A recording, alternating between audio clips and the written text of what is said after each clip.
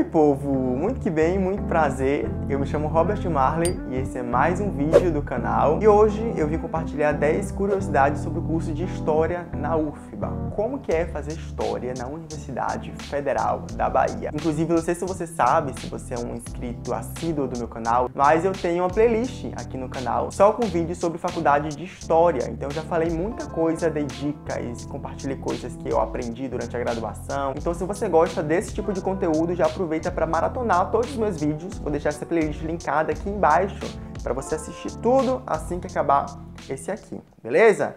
Então bora lá para compartilhar as 10 curiosidades sobre o curso de História na UFBA agora mesmo. Vamos? A primeira coisa é que no primeiro semestre a sua grade já vem pronta. Você, enquanto calouro, assim que você chega na UFBA, você não pode modificar as matérias que você recebe assim que você chega. Então, a partir do segundo semestre, o rolê acaba sendo outro, vou falar mais sobre nas próximas curiosidades, mas no primeiro semestre a grade é pronta, você tem que dar conta daquelas matérias, não pode acrescentar mais, nem modificar nada do que você recebe. Outra coisa é que nos semestres seguintes é você quem monta a sua grade. Então, se no primeiro semestre você não pode fazer nenhum tipo de alteração, a partir do segundo semestre é você quem monta toda a sua vida acadêmica. Então, você estrutura como que você quer fazer, os horários que você quer pegar, mesmo sendo de um turno específico, tem a possibilidade de você pegar matéria em outro turno, se você puder e quiser fazer isso. Então, você que vai dar conta da sua vida acadêmica a partir do segundo semestre, vai pegar 10 matérias se você quiser, 3 se você quiser, entende? Então é você que se vira e dá conta do seu rolê a partir do segundo semestre. Outra curiosidade é que as matérias do curso de História não têm pré-requisito.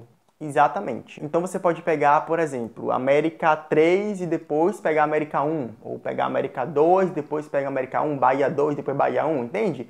Não tem pré-requisito nas matérias do curso de História, do departamento de História.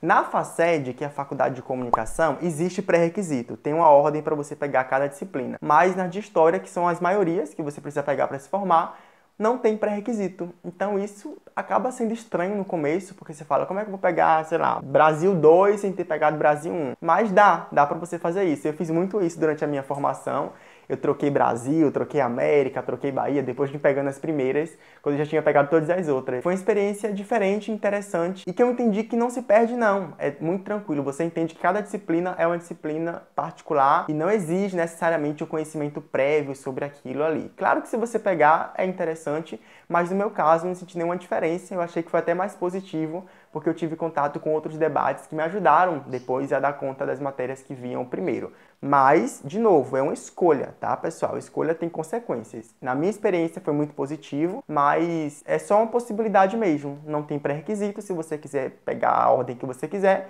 é você que escolhe, é você que decide. Outra coisa é que o curso de História na UFBA tem dois períodos, o diurno e o noturno. O diurno, as matérias são ofertadas pela manhã. Noturno, obviamente, pela noite. E eu especifiquei isso do diurno ser apenas da manhã porque poderia ser pela tarde, né? Diurno dá a ideia de que é o dia inteiro.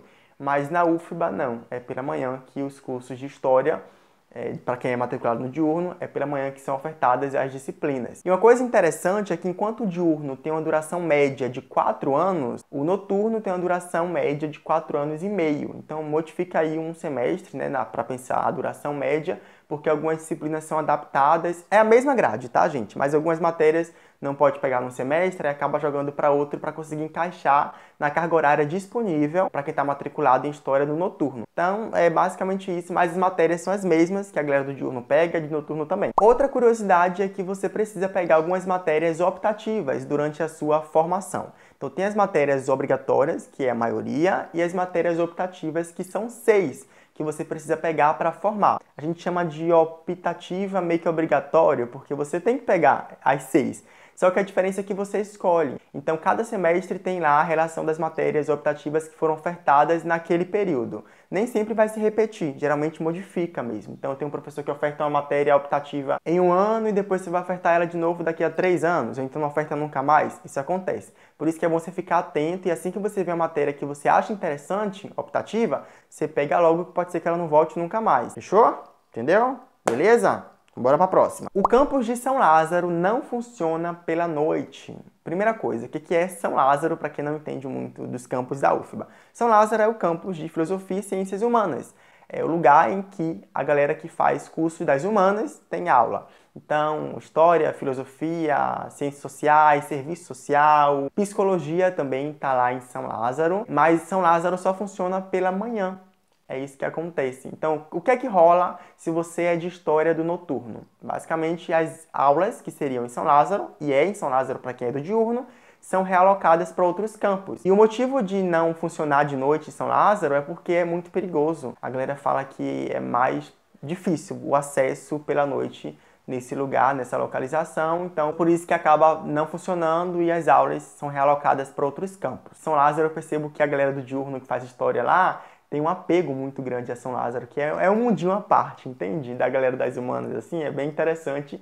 E eu percebo que há essa afetividade por muitos estudantes pelo campus. E infelizmente a galera da noite não tem a mesma experiência. Outra curiosidade é que o curso de História na UFBA é licenciatura, com a possibilidade de você fazer o reingresso e também pegar o diploma do bacharelado. Vamos lá que eu vou explicar. Você faz a sua formação primeira ali na licenciatura. Não tem opção de você pegar apenas o diploma do bacharelado primeiro. E aí você tem a sua formação, tá apto para dar aula em escola, porque é isso em resumo, né, que representa a licenciatura, você pode ser professor.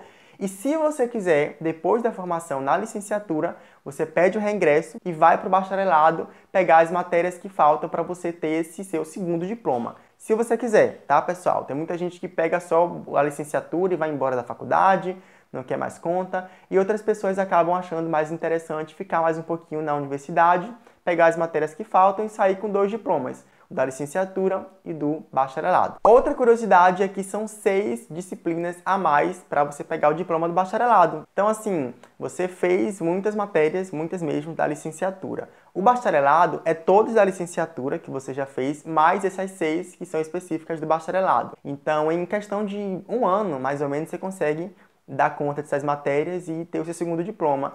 Eu fiz o reingresso, estou inclusive ainda no reingresso, né? Não, não formei no bacharelado ainda. Poucas matérias, eu imaginei que seria tranquilo para mim pegar as matérias que faltam e eu estou formando também no bacharelado. E assim, uma coisa que eu quase esquecendo de falar: você pode adiantar as matérias do bacharelado durante a licenciatura. Foi um pouco do que eu fiz também.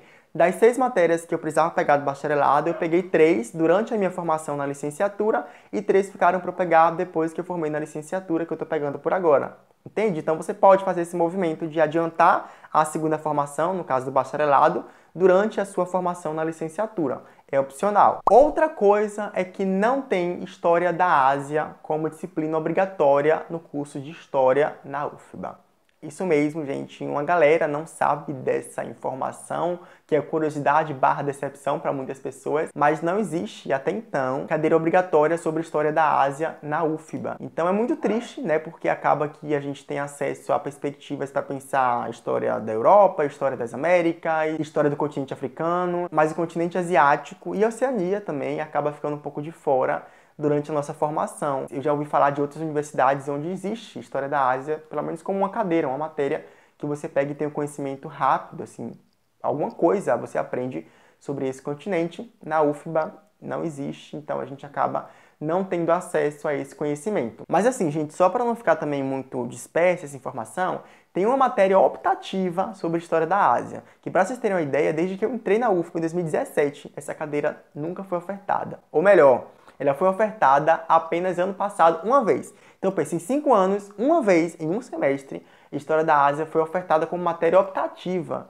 Então é bastante complexo mesmo esse, essa questão. Isso acaba ficando como um buraco na formação em História na UFBA. E a décima curiosidade é que é obrigatório fazer TCC na formação em História na UFBA. E TCC lá são divididos em duas cadeiras. TCC 1, que você faz um pré-projeto, e o 2, em que você entrega realmente o TCC pronto. E eu falo isso aqui como uma curiosidade porque eu já ouvi falar de algumas universidades onde não é obrigatório fazer o TCC quem forma na licenciatura. Eu sei que a UFMG é isso que acontece. Eu já ouvi Débora Ladim falar sobre isso. Tem muita carga horária de estágio, o estágio obrigatório, e eles não precisam entregar a TCC para quem forma na licenciatura. Em história, mesmo na licenciatura, a gente precisa entregar um TCC e fazer um trabalho de conclusão de curso, né, que é isso que é TCC, para conseguir o nosso famoso diploma. Não consigo dizer se eu vejo isso como positivo ou negativo, porque acaba que você aprende muita coisa, coloca a mão na massa, faz um trabalho acadêmico interessante, um pouco mais extenso, fica de aprendizado para você, mas acho que seria legal, assim, eu acho, uma dor de cabeça menos no final da faculdade. Eu sofri um pouquinho,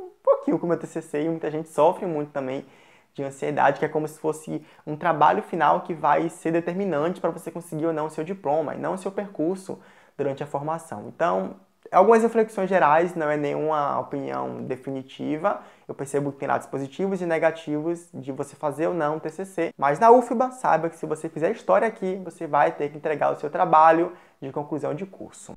E, gente, eu separei aqui 10 curiosidades para compartilhar para vocês, mas tem muito mais coisa que eu poderia ter falado aqui nesse vídeo. Para não ficar muito extenso, eu vou parar aqui.